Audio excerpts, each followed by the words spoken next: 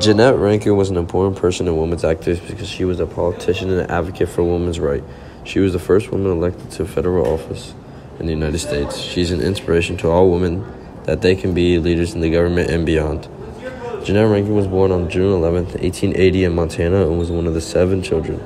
She attended the University of Montana where she studied biology. That's where she becomes involved in the women's suffrage movement. Jeannette never married or had children but stayed very close to her siblings throughout her life.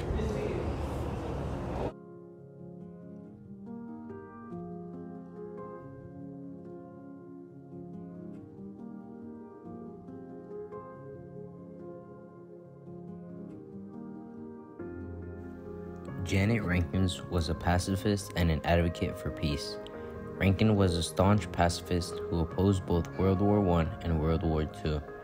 She was the only member of Congress to vote against U.S. entry into both wars, a decision that cost her political support but also earned her respect from many peace activists.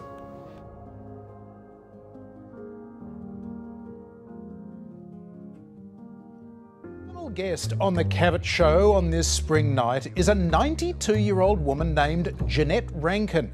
Will you welcome, please, Ms. Jeannette Rankin? Half a century earlier, before women in America could even take part in presidential elections, she became the first woman to be elected to Congress. In mid 30s, she graduated from university and led the successful campaign for women's suffrage in Montana in 1914. Two years later, she ran for one of Montana's two House seats on a platform opposing America becoming involved in the First World War and supporting the right of women to vote nationally. On April 2, 1917, Jeannette Rankin was sworn in as the first female member of the United States Congress. The open debate on a constitutional amendment granting universal suffrage to American women.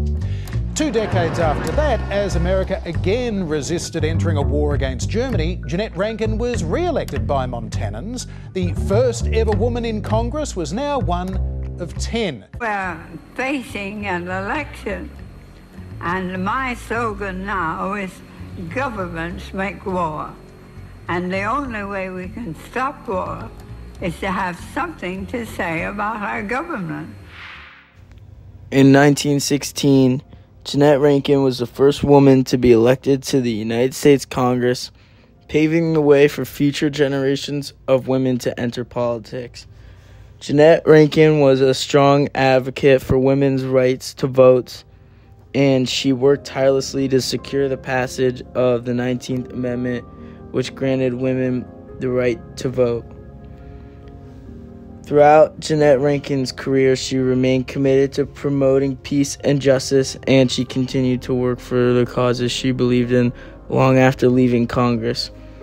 Jeannette Rankin was a passionate advocate for social justice, working to improve the lives of women and children, fighting against discrimination and inequality. Jeannette Rankin's accomplishments and commitment to social justice and peace continue to inspire women today for their rights and make a difference in the world.